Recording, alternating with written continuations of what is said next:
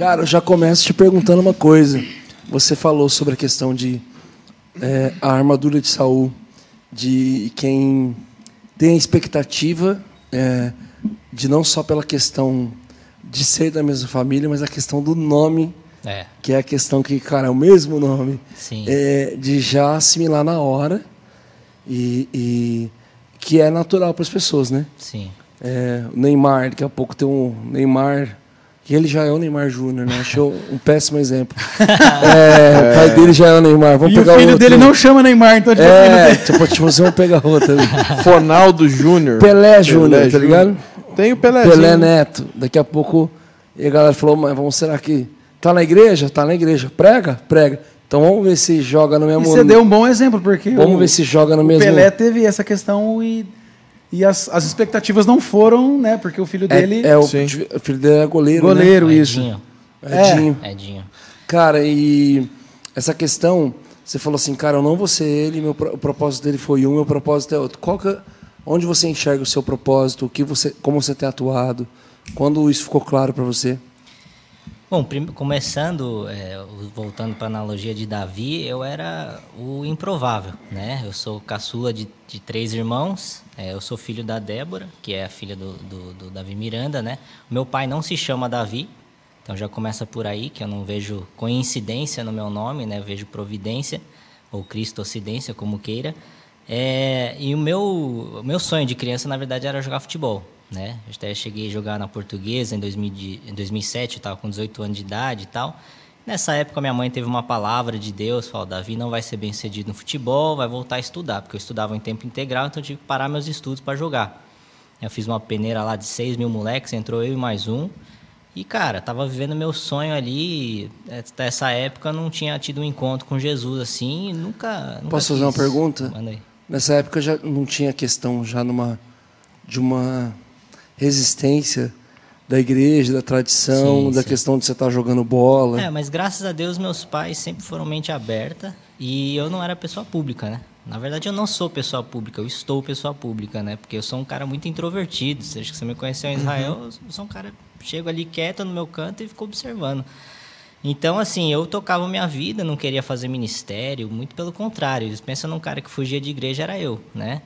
Então, é, é, a minha história, ela é muito é, é, o que eu prego hoje, né? Eu, vivi toda a minha vida e depois que eu rompi o ligamento, tive que operar, sete meses de fisioterapia, voltei para a escola tal, entrei na faculdade, aí na faculdade que eu fiz ADM, Administração de Empresas, eu fui direcionado para o mercado financeiro. Aí legal, cara, fazia sentido com o meu perfil, sempre tive um cérebro mais matemático e tudo mais. Falei, cara, legal, vou seguir carreira no mercado financeiro, né? Trabalhei no Credit Suisse, BTG Pactual, que trouxe toda a minha... Trabalhou mal, hein? Não vou falar não, bebê. Mal, mal e bastante, né? É, Como rapaz. estagiário era 12 horas por dia. Nossa, mas nos lugares que falar pra você, hein? É. Mas assim, foi Peso. muito de Deus, assim. É, a corretora lá que, que eu trabalhei... Tinha que liberar uns créditos lá de 15 mil reais, Ah, certeza. é. Coisinha Não, básica, assim, e uns cartãozinho né? vermelho, né? Essas coisas. É. assim. Aí, assim, eu queria seguir carreira nisso e tal. E chegou em 2013, que foi o ano que, que mudou tudo na minha vida, né? É, Deus começou a fechar as portas do mercado financeiro. Eu comecei a me desmotivar. Eu pedi Caramba. demissão do BTG Pactual. Pedi demissão e, cara, eu meio que entrei num espiral. Assim, tem a, o- a crise da meia vida, só que eu tava num quarto de vida ainda. Então foi meio que precoce, mas aconteceu. Eu não sabia porque que eu tava acordando de manhã. Tipo, cara, o que que eu tô fazendo aqui na Terra, né?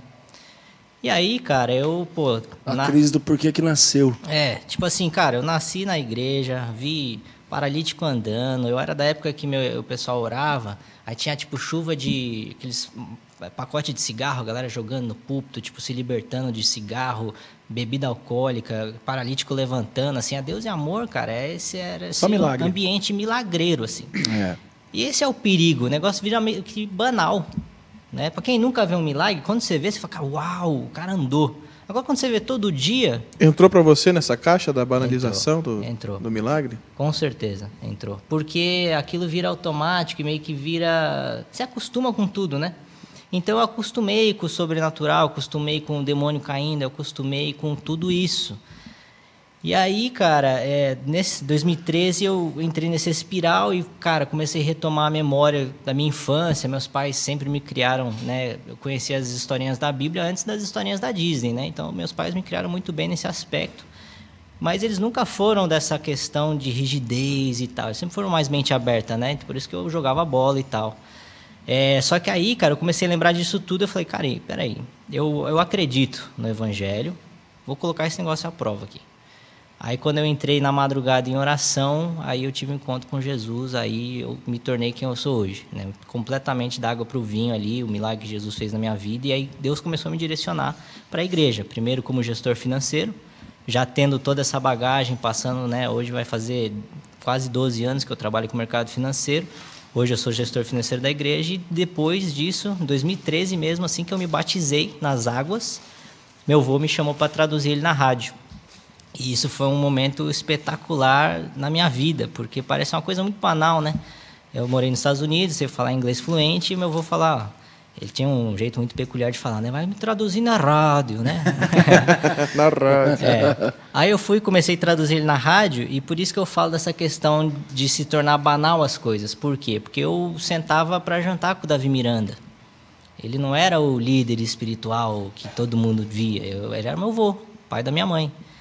Você é, viu a humanidade dele. É, eu conheci o ser humano, né? Eu não conheci o líder espiritual. Só que nesse, nesses quase um ano e meio é, de eu traduzindo ele, foi a forma como Deus mostrou quem ele era para mim. Mostrou a fé dele, mostrou a perseverança. Ele era um homem com um milhão de, de dificuldades, assim. Ele tinha muitas limitações. Era um cara muito simples, não fez faculdade, não era um, não fez MBA, nada disso. Só que a fé dele prevalecia acima de todas essas coisas. Né? Ele foi um homem de fé. É, eu até tenho uma teoria que ele não tinha o dom de milagres e curas, ele tinha o dom da fé. E os milagres e curas eram só consequência.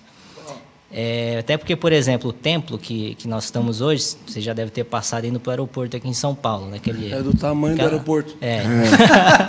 Dá para pousar um é. 747. Exato. Tamanho de Congonhas. É. Ele não tinha metade do dinheiro para comprar aquilo. E, foi, e teve uma palavra de Deus falou, a gente vai comprar. E Quantas foi... cadeiras? É, bom, tinha 20 mil, só que aí agora a gente está comporta... É, é, trazendo em compartimentos, né? Agora a gente construiu uma galeria que o Regenere tem usado, que ficou sensacional, assim, pegada Hilson. É, eu aí... vi, cara. Eu vi no eu, vi, eu, eu, vi você falando no Hub. E falou, pô, Deus e amor tá com um dos dos auditórios mais tretas mais do Brasil. Mais high-tech de todos, é. cara. LED dos lados, Não, tudo. Ficou, fiquei... ficou bonito. Aí eu olhei, entrei na localização, falei, cara, Deus é amor mesmo. falei, rapaz, os caras né? tão... Não, mas ficou bom, ficou bom. E eu fui naquela premissa, Regenere né? é o Ministério de Jovens? É, é. Então, em 2013, é, eu comecei a é, traduzir ele e tal, e foi quando as coisas espirituais começaram a acontecer na minha vida. Né? Conheci Jesus, comecei a traduzir ele, Deus começou a me mostrar quem ele era. É, comecei a pregar, né?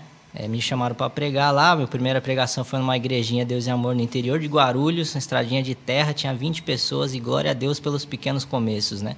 Fico muito feliz que eu tive esse início aí. E isso tudo culminou né, em 2015, quando é, tem um termo em inglês que eu, eu, eu, gosto de falar ele, que é o ponto de não retorno, né? The point of no return. Foi em 2015. Ele faleceu em fevereiro. Ele me ligou numa sexta-feira. Você vê como é que é as coisas. Né? Ele ligou numa sexta-feira é, me, me cobrando lá alguma coisa da conta do HSBC, que nem existe mais no Brasil aqui, né? Preocupado com as finanças da igreja, falei, não, vou ficar tranquilo, tá tudo certo e tal. Eu, eu acredito que essa ligação foi algo que Deus me deu, assim, uhum. para despedir dele, né? Sim. E no sábado ele teve um infarto e faleceu. Quantos anos? 79, eu acho. 78 ou 79. É, e aí, é, eles fizeram um culto fúnebre, na verdade um culto não, né? Colocaram o corpo dele velado lá na, no templo por três dias, 72 horas. E durante 72 horas o templo esteve lotado. Manhã, tarde, noite, madrugada. E Caraca. foram lá R.R. Soares, Samuel Ferreira, sim, grandes líderes. Falei, cara, o que está acontecendo aqui, velho? Eu não sabia que meu avô era tão grande assim. Sério? É.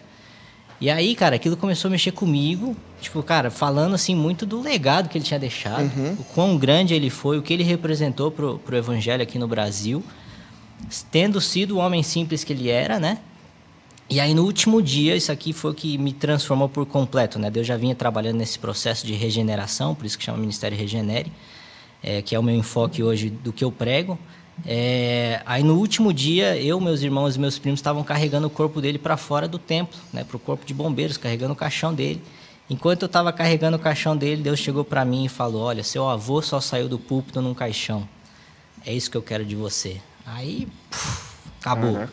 Aquilo foi o raio na minha alma que matou o da vizinha anterior e hoje eu sou alguém que vive para Deus.